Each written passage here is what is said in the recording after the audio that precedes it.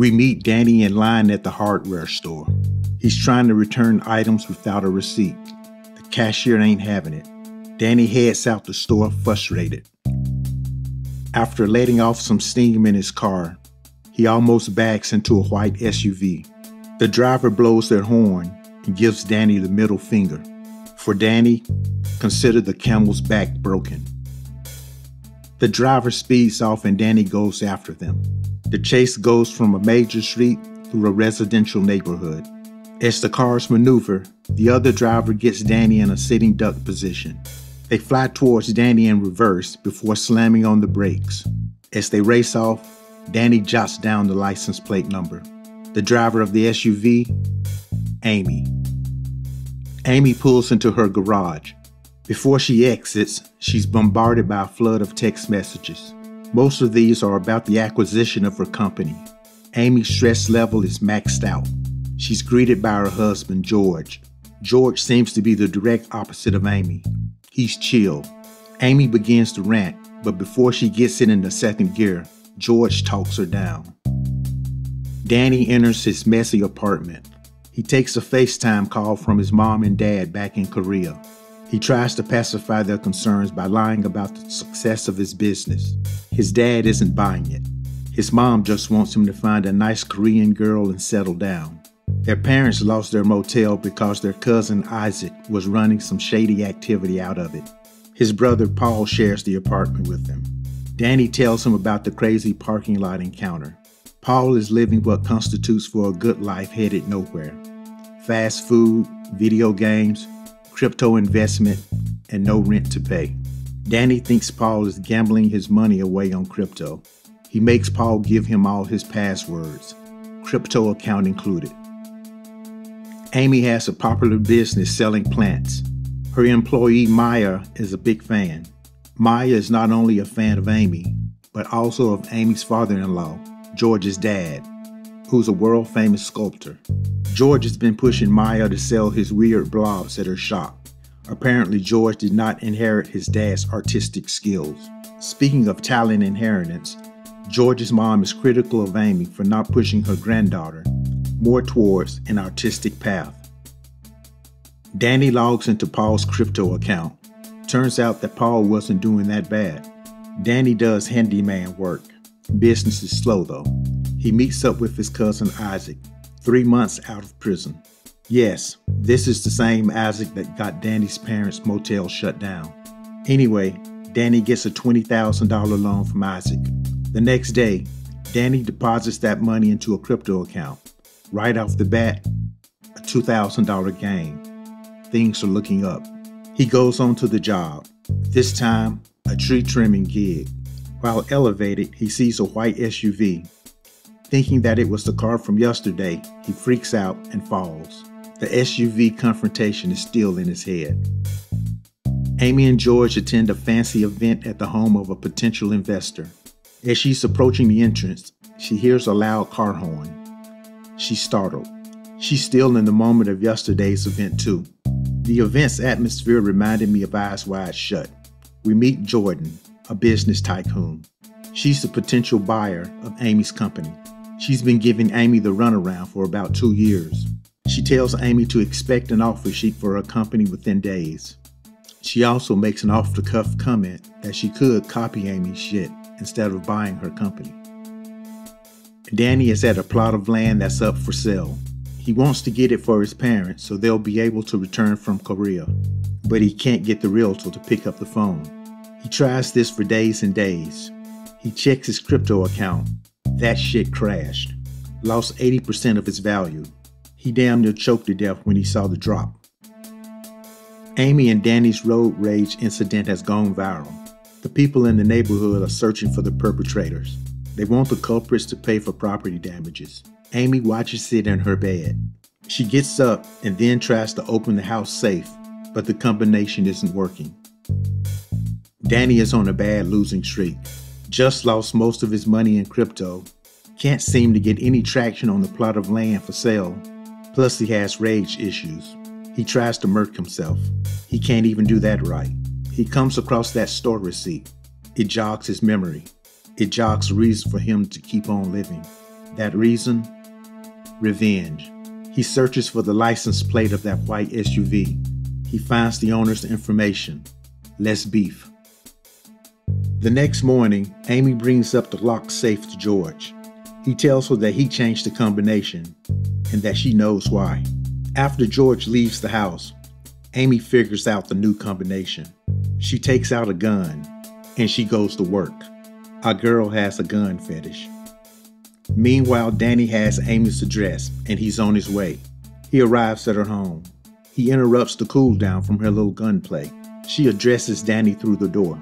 To acquire entry, he gives Amy a story about rooftop damage in the neighborhood. She lets him know that she's strapped, but eventually, she lets him in to inspect. The two walk around the house. Danny asks to see the garage. Yep, the white SUV is there. This is the right house. While conversing, Amy makes the comment that her husband drives the minivan. She drives the SUV. Hmm. Danny now knows that Amy is the driver that he's looking for. He excuses himself to the bathroom. Danny exits the bathroom and proceeds to rush out of the front door. Suspicious, Amy goes to check. The floors are wet, and it wasn't from her little gun party. Old boy pissed all over her bathroom. Looked like a men's urinal in the fourth quarter of a college football game in there. Amy chases after Danny. He makes the getaway. Amy gets his license plate. Little does he know, he's awakened a beast. Amy is in a rage. She doesn't know whether to clean up the piss or to go after Danny first. She looks up his license plate number. She easily finds his information. She calls him and begins to go off. He hangs up. She tries again. Voicemail. She leaves a message declaring war on his ass. George comes home and finds Amy raging with the gun in her hand. He cleans up the piss and manages to keep a level head about the situation. Danny lets Isaac store some goods at his place. Probably some stolen goods like the ones that got his parents' motel shut down. Danny tells him that he's gonna be a little late repaying the money. Isaac tells him no problem, just hand over the title to your truck. Amy ain't down with George's passive mindset. She wants to go kick some ass. And if George won't do it himself, the least he can do is drive her to Danny's place to do it. They get there, and some shifty ass kids are sitting outside. They go to Danny's apartment. He's not there. Turns out it's an old address. The new motel owner tells him that Danny left when the place got shut down. Amy and George return to a flat tire. The kids, who are 100% sure did it, offer to change it for 40 bucks. Don't knock the hustle. Amy is straight up destroying Danny online. He needs to throw Amy off his tracks. He floats the idea to Paul to start a new company, with the company in Paul's name. Paul is down. They want to market their new business to Orange County Koreans. Paul notes that Danny's ex girlfriend Veronica now lives there. She might be a good source of business. The two successfully pitch their services to Veronica and her husband Edwin. Isaac interrupts with a call to Danny. He tells him about Amy and George looking for him at the old motel. Danny realizes that Amy isn't going to go away easily. We're introduced to Naomi. She's Jordan's sister in law and also a friend of Amy's. Amy had missed the meeting with Jordan because she was out hunting for Danny. Naomi gives her tips on how to navigate around Jordan. Naomi then shows Amy the viral road rage video. People are crazy, right? Embarrassed, Amy deflects. Danny calls Amy and leaves a threatening voicemail. Amy goes into the second stage of her revenge. She's gonna catfish his ass on Instagram. She creates a fake profile with the name Kayla. She uses her employee Maya's photos for the profile.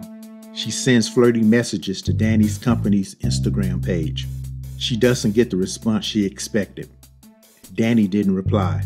Paul responded instead with a shirtless thirst trap photo of himself. George and Amy attend an art exhibit showing some of his dad's artwork. His mom was his dad's muse for some of the chair pieces. Jordan attends. She tries buying one of the pieces, but George declines. The piece is sentimental and it's not for sale. This upsets Jordan.